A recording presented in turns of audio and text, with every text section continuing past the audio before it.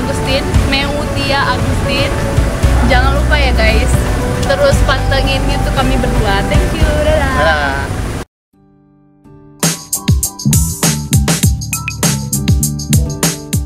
Assalamualaikum warahmatullahi wabarakatuh Halo guys, selamat sore Jadi kembali lagi di channel kita Youtube Muti Agustin Jadi kita kemarin itu kan mengundang abang kami, Bang Sultan Buat nyanyi di acara kami nih Nah sekarang kami mau mengajak Bang Sultan ini buat jalan-jalan Tapi waktu ditelepon itu nomornya nggak aktif Terus WA-nya juga nggak aktif Tapi kita dengar-dengar ya eh, katanya Bang Sultan lagi minum kelapa muda Nah, nih. temannya ya? Heeh, sama Temannya temannya di di, taman. Taman, Jadi iya. kita mau nyamperin Bang Sultan di taman buat sambil jalan-jalan sama buat wisata kuliner. Oke, Ada di Bengkulu ya. stay tune di eh, channel kita Muti Iya. Agustin.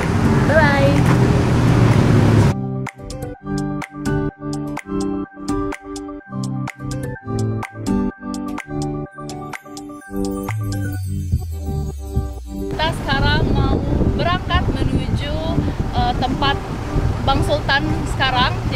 Tempat dia minum kelapa muda di salah satu taman di Kota Bengkulu. Oke, ikutin kita terus ya.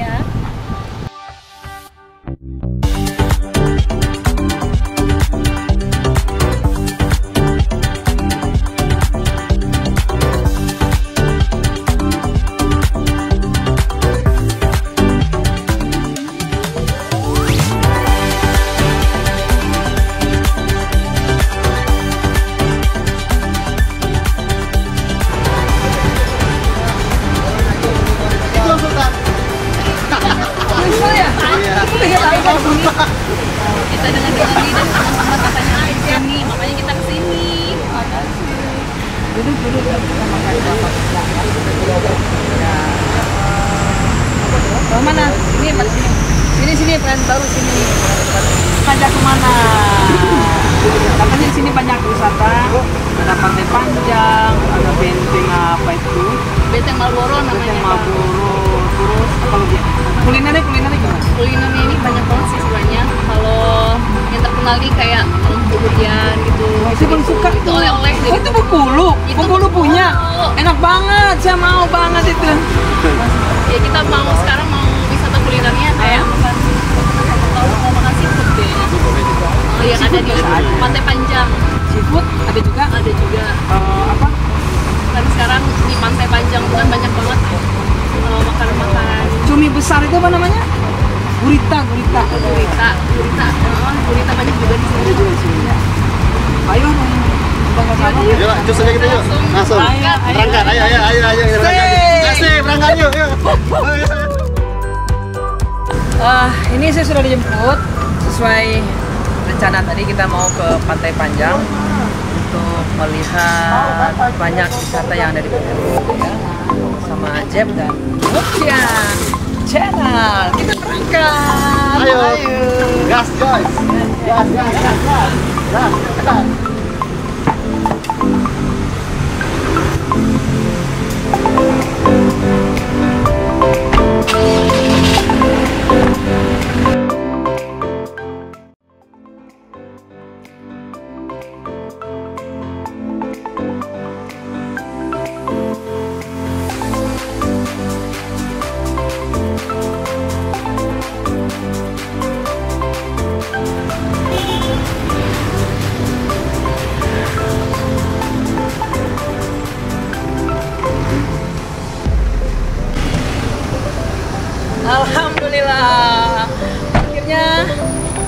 Sampai juga di tempat yang dijanjikan yaitu Benteng Marlboro. Nah di sini katanya eh, di sini tempat tempat eh, proklamator Indonesia presiden yang pertama Soekarno di di penjara ya kalau nggak salah ya. Ya. Udah karena udah sore atau keburu malam kita langsung aja deh ke sana ya. Nah, terus guys.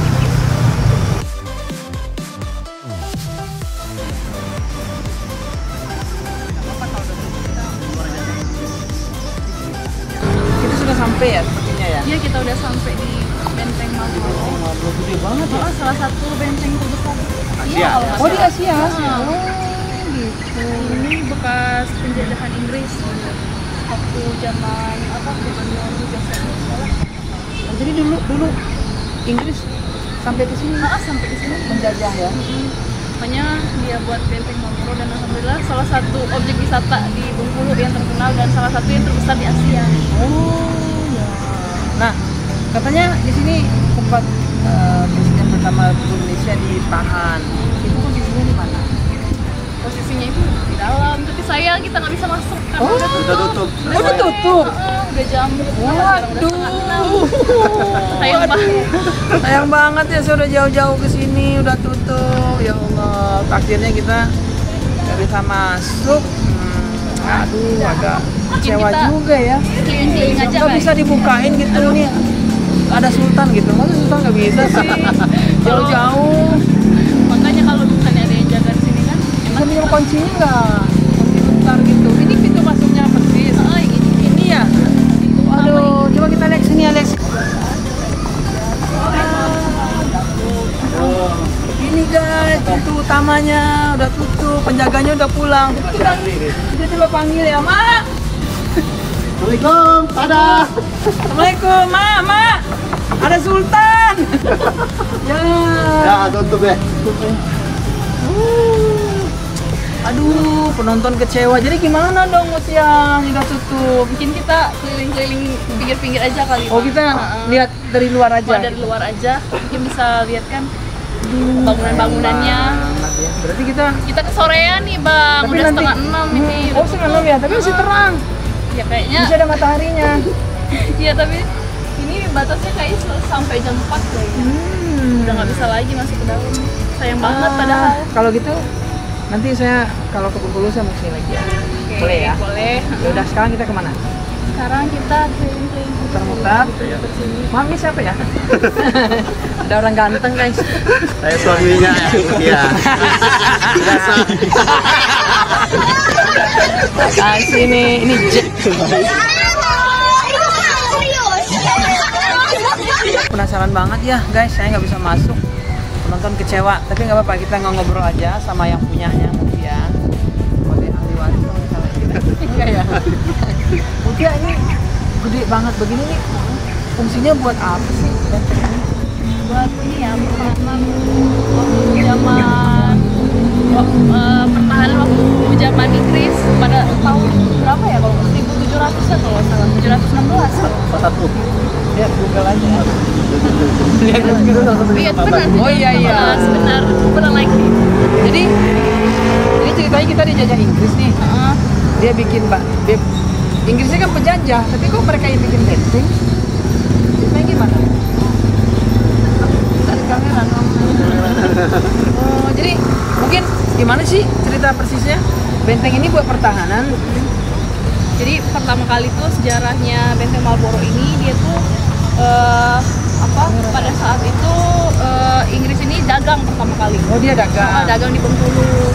Jadi setelah dia itu kalah dari VOC dari Banten, eh, Bengkulu itu memang menjadi pusat aktivitas EIC di Asia Tenggara.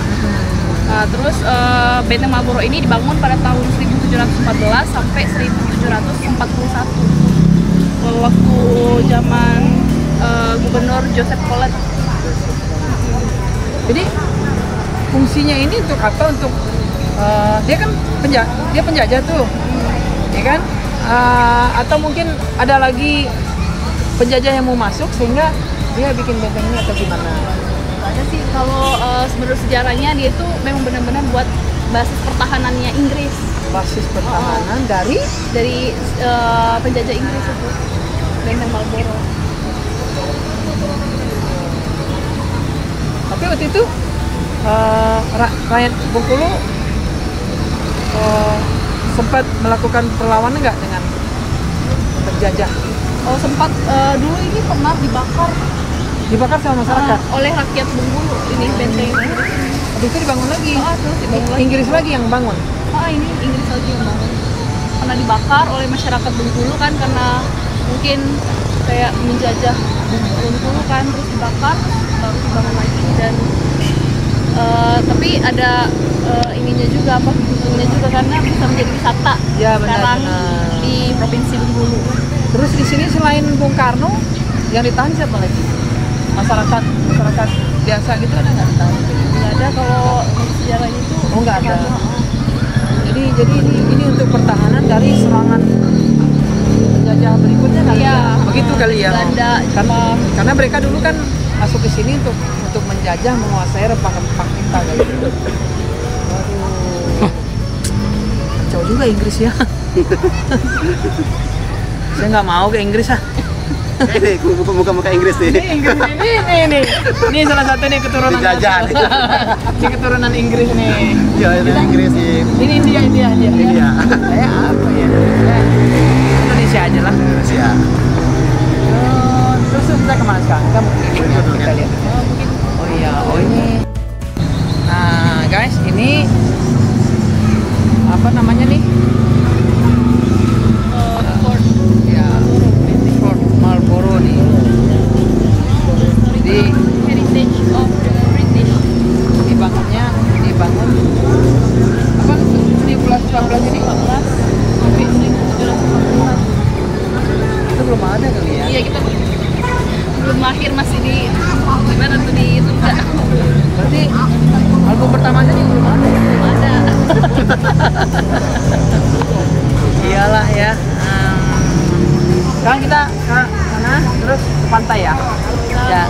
Katanya sini juga ada objek wisata pantai Pantai pantai panjang. panjang ya katanya paling panjang pantai panjang ini paling panjang se se Indonesia ya Se Indonesia, panjang. se Bengkulu Se Indonesia. Indonesia.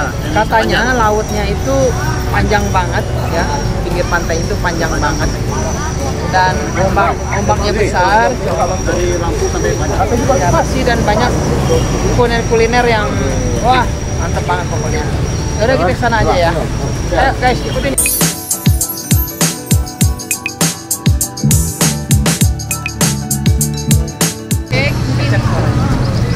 kita udah selesai keliling-keliling benteng Marlboro, udah muter-muter. Tapi sayangnya kita nggak bisa masuk di Iya. malam sorean. besok pagi kita ke sini lagi kita nginep di sini Jangan dong. jangan ya ya kita sudah putar-putar sana sini. Udah lihat luar-luarnya udah ngomongin eh, sejarahnya juga. Karena udah sore ya kita harus kembali ke markas kita. Jadi apa? Jadi kita langsung cus ke Iya. tempat makan lagi kayaknya udah lapar nih udah sore. jadi untuk segmen eh, Selanjutnya? selanjutnya kita ke kita gerak dulu ke tempat lain ya. Ya. Ya, guys ya, sampai di sini dulu ya. Info eh, tentang Benteng Marlboro di Bengkulu. Saya Sultan. saya Mutia. Saya Cik Irfan. Assalamualaikum.